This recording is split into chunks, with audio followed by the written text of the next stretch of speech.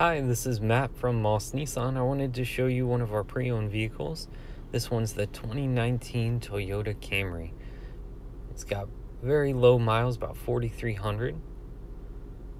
It's got great style with the black on white and red interior. A nice big heads-up display where your backup camera shows This one also has blind spot monitoring and sunroof. And even your passengers in the back seat will be able to enjoy it.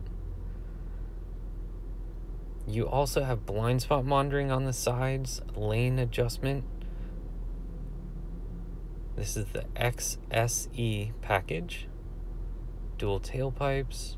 Let me know what you think. We definitely want to earn your business. Thanks and have a great day.